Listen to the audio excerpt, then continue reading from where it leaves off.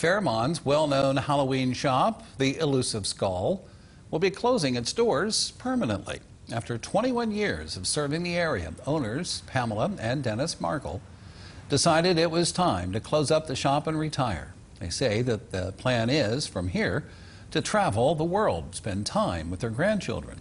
But the good news from this is that the costume shop has deals from makeup and masks to costumes and decor. Everything in the store now 75% off. I think what I'll miss the most is my customers. We've made a lot of wonderful friends. We've met a lot of interesting people with amazing talents. And I think that's going to be sad for both of us. And the Markles thank the Fairmont community for supporting them for so many years.